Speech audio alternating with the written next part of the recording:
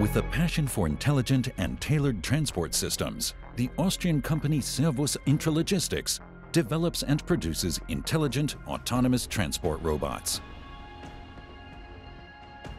With ties to the region and neighborhood, the multi-innovation prize-winning company relies on the intelligent sensory organs from German sensor manufacturer wenglor sensoric to remove and bring all kinds of goods from and into the warehouse fully automatically, or to safeguard the material flow for plants and machines.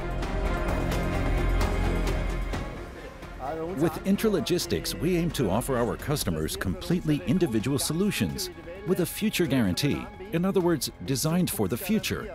And we build systems from incoming goods and outgoing goods to production and beyond. This means that we place high demands on our component suppliers.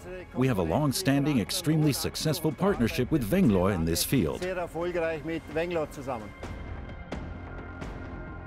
The biggest challenges for our transport robots are monitoring the high speeds of up to 4 meters per second on the one hand, while also being resistant to the interference factors such as reflections, dark surfaces, and above all, ambient light. Our customers are requiring ever smaller, faster, and completely flexible transport systems. For optical sensors, this means being able to offer large ranges of up to 10 meters in combination with fast measurement cycles of 500 measurements per second. This ensures that we can prevent collisions and transport goods reliably even when exposed to daylight.